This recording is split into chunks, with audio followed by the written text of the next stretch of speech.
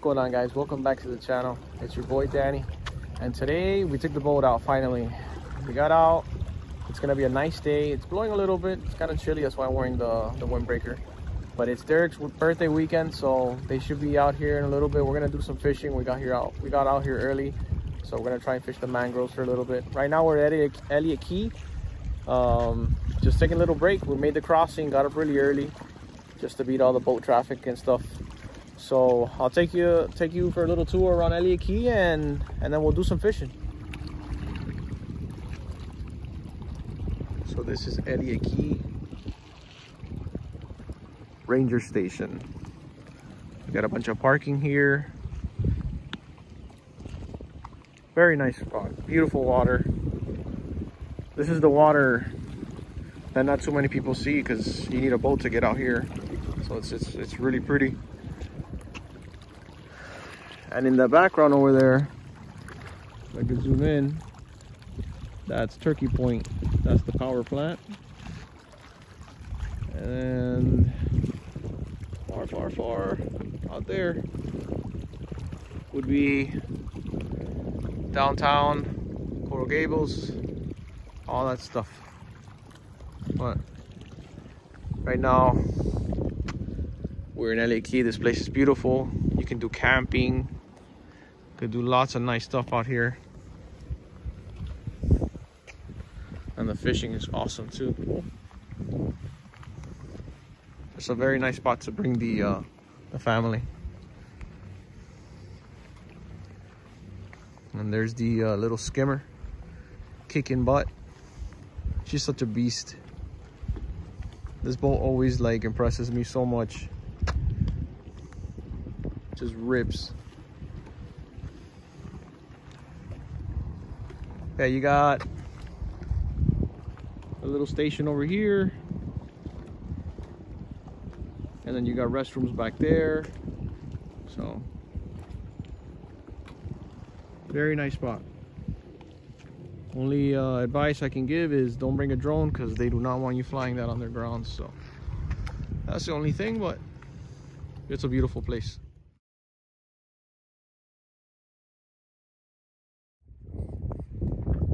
Massive shark.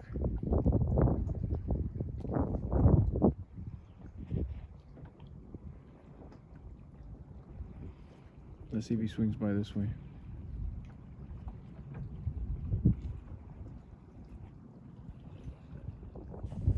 Let's see if I can get close for him.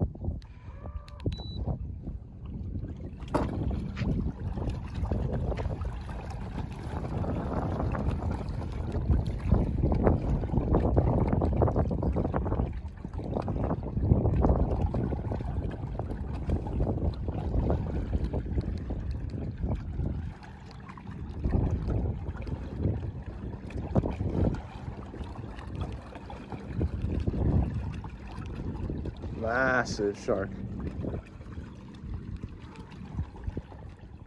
So it looks like there's gonna be a change of plan, guys. I thought everybody was gonna head out today, but turns out somebody didn't feel well and uh, plans changed. So I did a little bit of a fishing, and uh, I think it's a it's overdue going over the skimmer skiff exactly how I had mine specked out.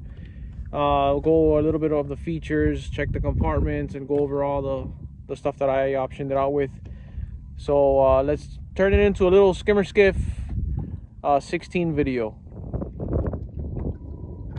As you can see, the water here is absolutely beautiful. This is Miami water. You don't need to go to the Bahamas to have crystal clear water, man. So right now we're using the Minn Kota and this thing is has been phenomenal. There's some people who have a really bad uh, rep with this thing but I have had zero issues with it honestly. It's been spectacular. Right now I got it on the uh, spot lock so it holds me in this position. Doesn't matter the amount of current. As you can see the water is rushing pretty pretty fast. And we got a fellow uh, skipper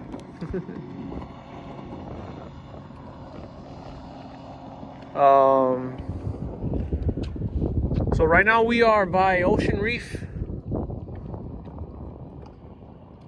Kind of getting to the Keys, Northern Keys. So this boat has three different compartments for storage. Uh, see here. This first hatch is pretty pretty awesome, and it's it is watertight. This one it's got two drain, two drains on each side. Good weather. Uh, uh, gasket here.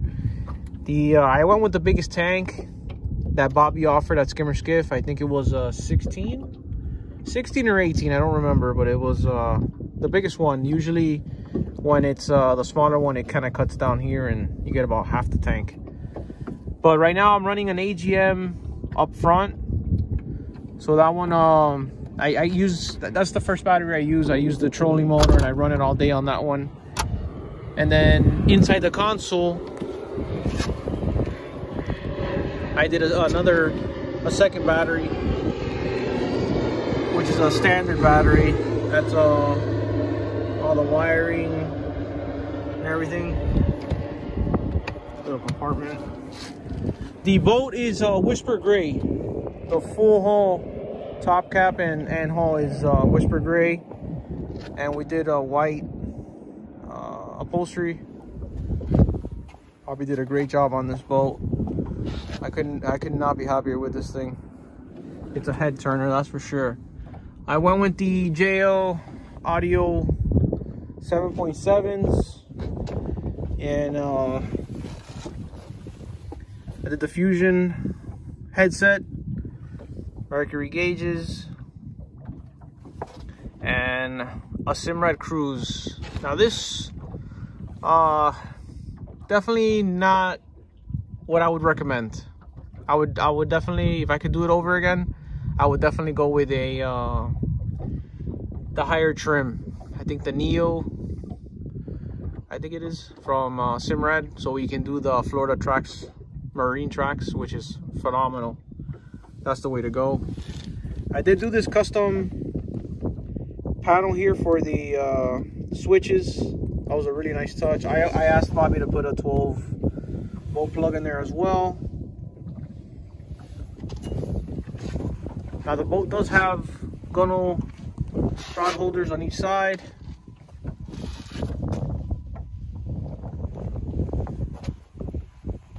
And we got some drainage back here. Your uh, Coast Guard ratings.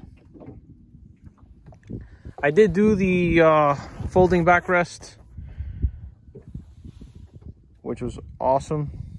Definitely nice when you got to do a long cruise back home and it folds right out of your way when you're gonna do some fishing.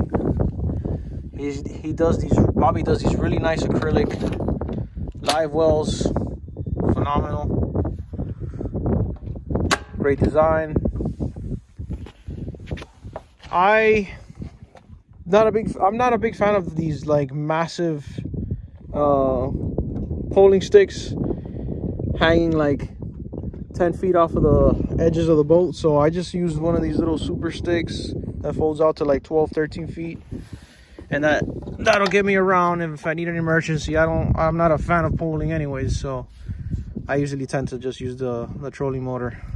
Yeah i'm a modern fishing guy right i know the diehard guys are rolling their eyes but uh so these are your two uh storage hatches on each side. And then back here you have your bilge area, which is, that's that goes to show you how uh, dry this boat is. I don't think there's a single drop of water in there. Poling platform, I powdered it, powder coated everything black. Navigation lights, LED lights everywhere on the boat and the baby. What really sets this boat apart from all the other ones is the 60R. This motor's been amazing, honestly. I do wish it had a little bit more top end power, but when it comes to having a nice hole shot, you couldn't ask for more. I am gonna mess with a couple props and see if we can get a little more speed out of her. But right now we're seeing 36 mile, miles per hour max. So that's all she does we did do the uh, trim tabs as well on each side.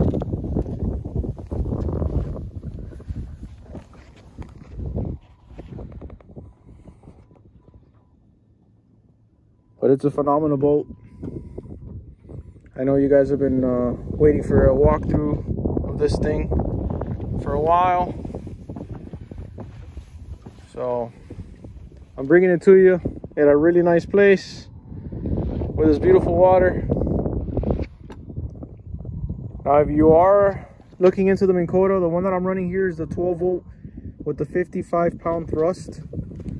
And honestly, it works perfect. It's kind of blowing right now, but uh, comes with a little remote. Right now I got on the spot lock, but you got a bunch of different speeds. Yeah, this thing will take off. It'll go straight up against the current.